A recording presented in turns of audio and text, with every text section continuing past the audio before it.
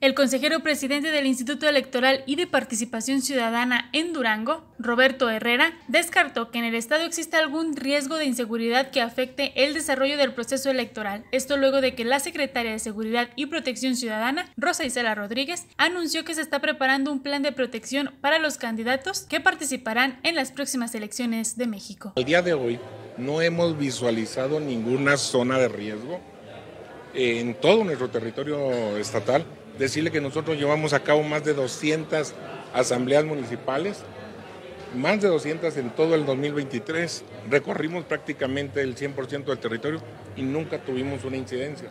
Decir ahorita que hay riesgo, que sea intranquilo, no sería una mentira.